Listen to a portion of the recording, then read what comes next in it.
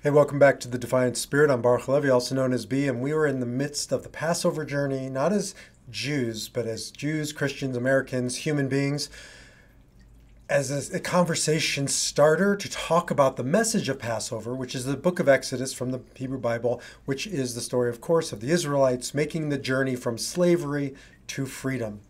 Now, Here's um, an interesting idea that is applicable to your life, whatever you're facing or dealing with, and that is during the Seder, the, the ritual meal that we engage in, we come upon this passage of the four children. And there's four different children that we're reading about or talking about. One of them is called the, the wicked child, one of them is called the wise child, one of them is called the simple child, and one of them is called the um, one that doesn't even know how to ask so my kids, I have four kids, and I asked them, okay, now divide up amongst yourself which of you are which. Some, you know, one of them jumped on the wise child, one of them jumped on the simple child, one of them even jumped on the I don't know child, and then they threw the Enneagram 8, uh, my daughter, under the bus and said she's the wicked child. So the conversation, though, was well, why would you take on that label? Like, why would you reduce yourself, limit yourself? It was kind of an unfair trap that I set for them, entrapment, and they walked into it, and we all walk into it. Um, why would you do that? You know, then we expanded the conversation to okay, who's an introvert and extrovert? Some said I'm an introvert, some said I'm an extrovert, some said like me, I straddle the line, and then we had the same conversation. Says who? Right? Well, one of the kids or one of the um, people who were participating said, "Well, it's because it's my personality and it's part of who I am." It is part of who you are, but the journey from slavery to freedom is not to reduce ourselves to parts, but it's to see ourselves as a whole. And so nobody is extroverted or introverted. It's a continuum, right? And it depends on the situation and the circumstance, where you are in life, what you're dealing with in that moment.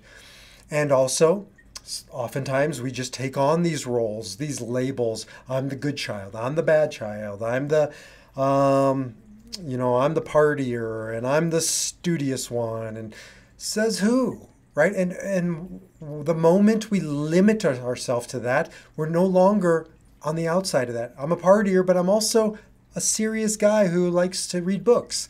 We're not one thing.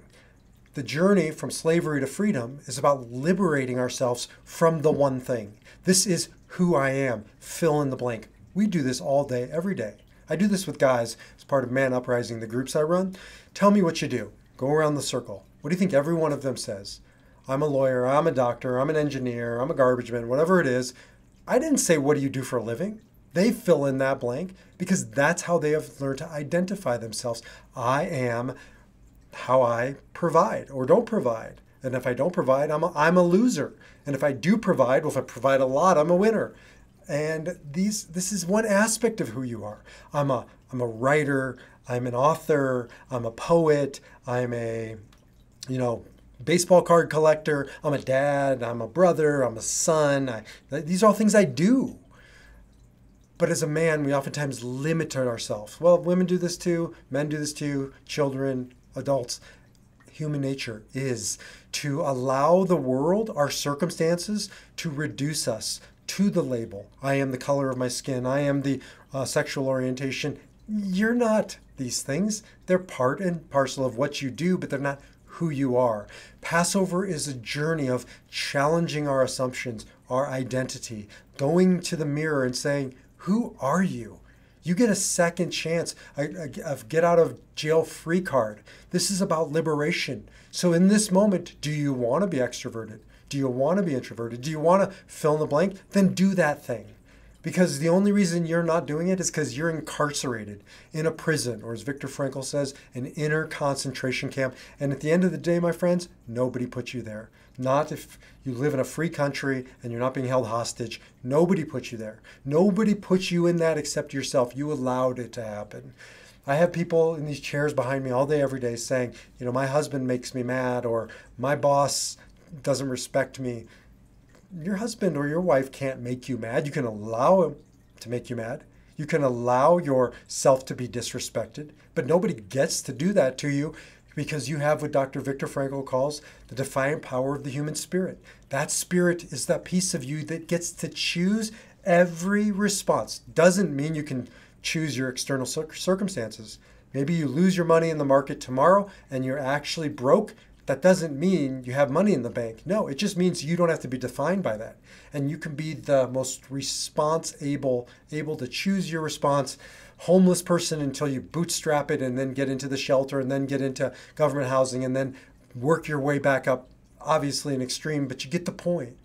Passover is a reminder that nobody incarcerates ourselves but ourselves. We do it to ourselves. We allow it to happen, usually slowly over time, attrition, withering us away. However, it happens, though, it happens, and it happens to all of us. Passover, we go to that table, we open ourselves up to the conversations, we go to the mirror, we challenge ourselves about who is the person staring back at us. Did I choose him or her? Did I just allow him or her to evolve or devolve into this version of me. Passover and the journey from slavery to freedom is about taking back your power from all of these labels and re- remembering that you are not one of them. You are all of them and you are none of them. You are the defiant power of the human spirit. Anything else beyond that is just a you, tool you use to navigate the world. Just don't lose yourself um, with the tool. Don't lose yourself behind the mask. We need the mask, but we got to also take the mask off and remember who we are, what we are, and why we're here. And that's what liberation and the journey from slavery to freedom on Passover is all about. I will see you in the next video.